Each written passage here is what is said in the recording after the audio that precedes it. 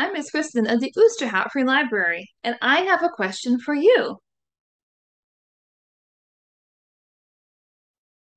What is yellow and described as a lump with the knobs that is also a vegetable, a grain, and a fruit? It's corn, and it's corn-tastic. Some of you may have seen the popular interview with the kid named Tariq, also known as the Corn Kid.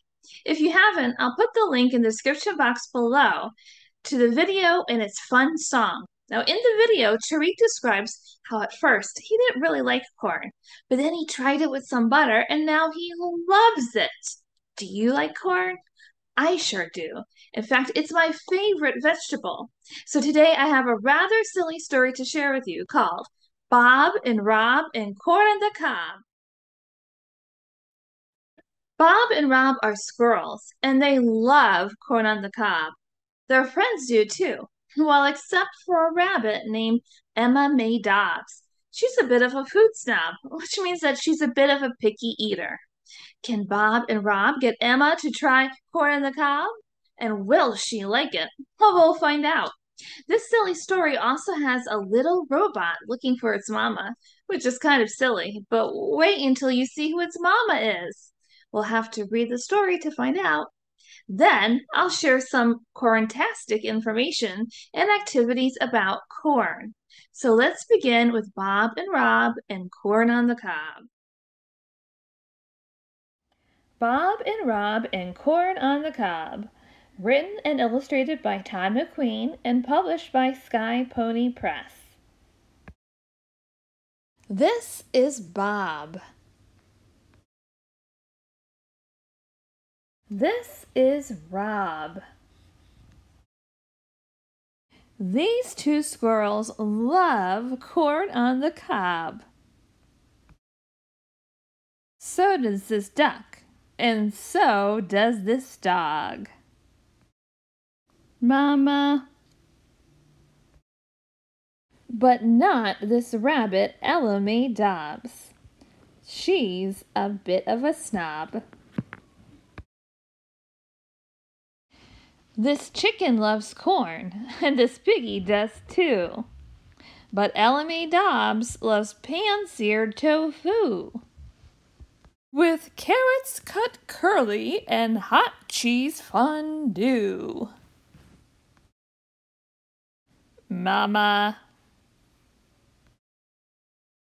The duck looked at Rob.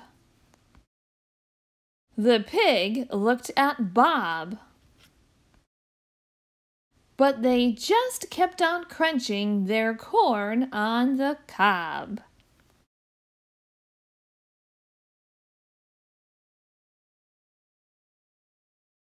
I want my mama.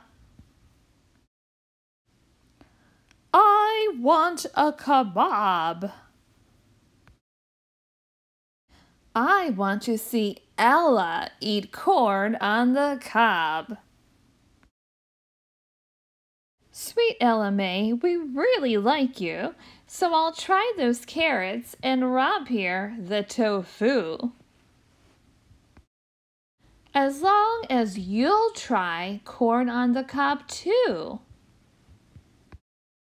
Oh, boo!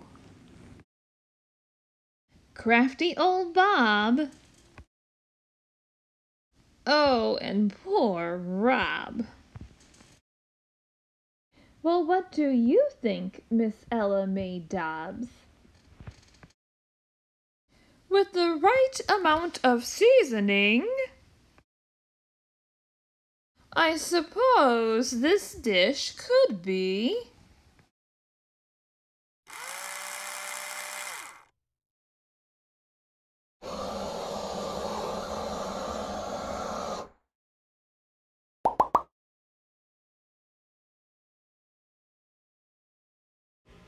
Interesting.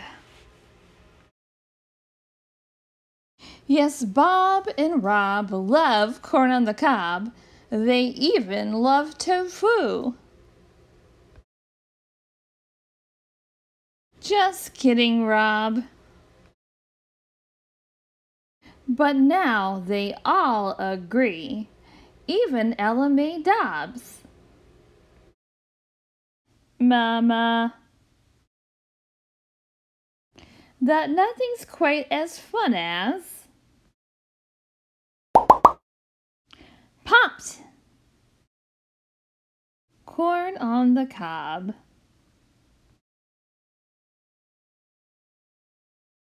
Mama! The end.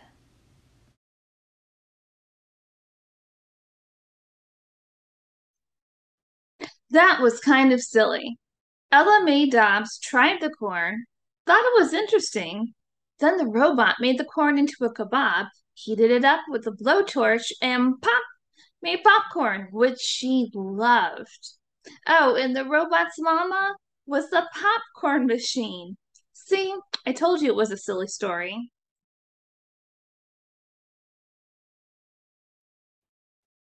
Do you like corn like Tariq and Bob or Rob?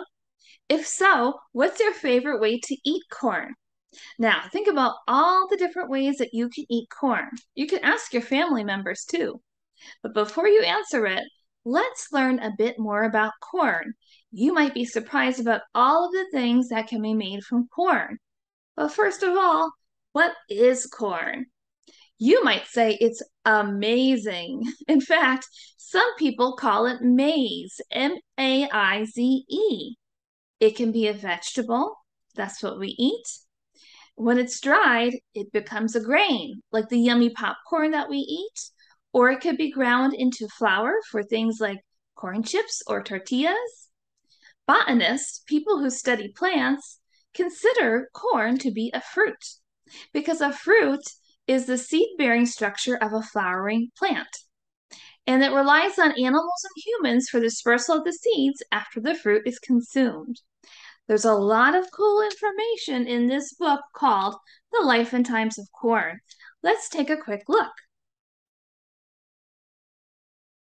The Life and Times of Corn, written and illustrated by Charles Micucci. Published by Houghton Mifflin Books for Children. Cornucopia of uses.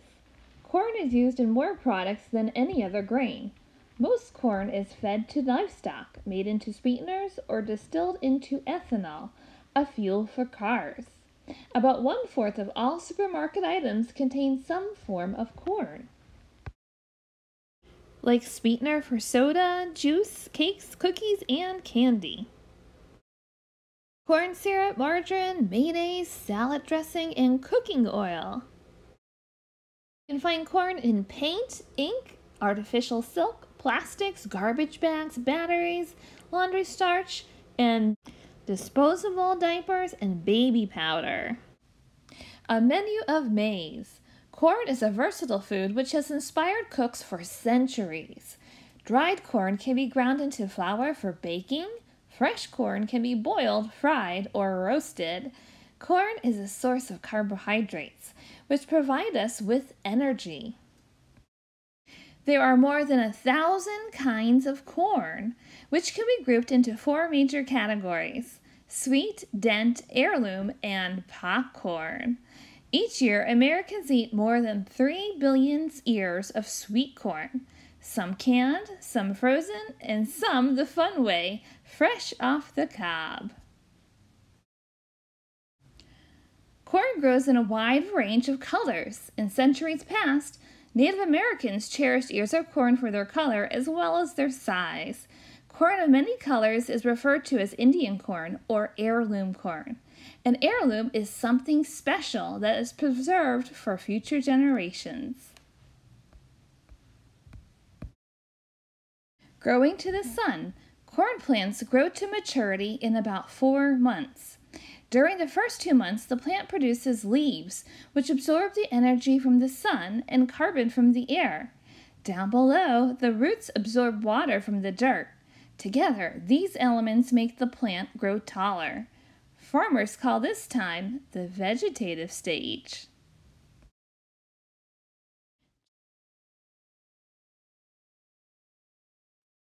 That was an amazing book. You could check it out from the library to learn more. Now, corn can take months to grow tall and ready for us to eat. Unless you visit a farm, you probably won't get to see it grow.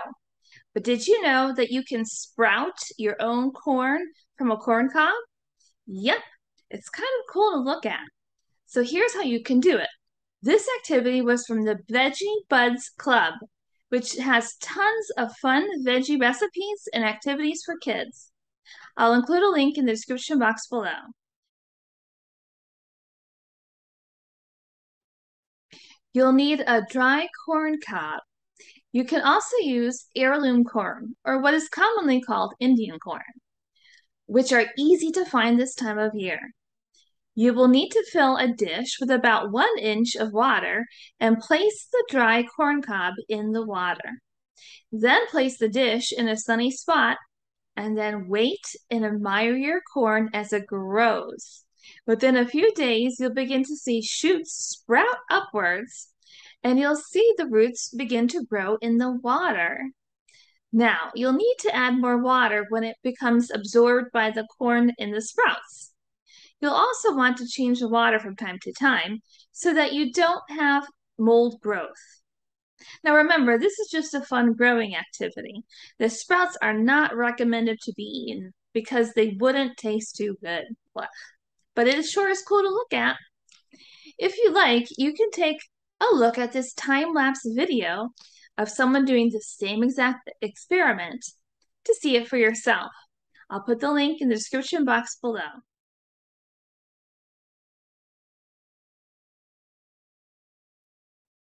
You can also try sprouting using a few kernels of fresh corn. It won't sprout completely, but you might see an interesting growth. First, you'll have to remove a few whole kernels from a cob and place them onto a damp paper towel. You'll probably need to fold the paper towel a few times over together and put it inside a small container or plastic cup. Then you'll need to keep the paper towel damp too much water might make the kernel moldy and it won't sprout. Too little water won't help the sprout to grow either. Then, in a few days, one or more of the kernels might burst open. A few more days after that, and you might see tiny little spots like this. Like I said, you won't see a complete sprout for that, but you'll definitely see something cool start to grow.